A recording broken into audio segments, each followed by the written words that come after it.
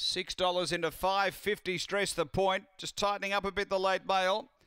At eight fifty now for Testarossa Boy. Green light. Ready to go. First leg of the quadrella. This is race five at Murray Bridge.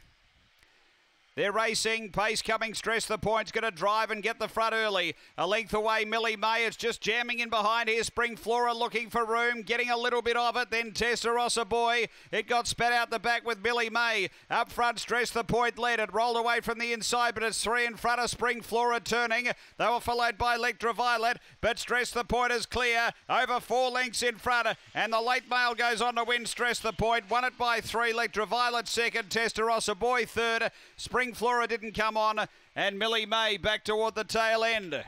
Time here is around 25 and 90. Has been uh, too good here after the running of race number five, straight to the lead and too good.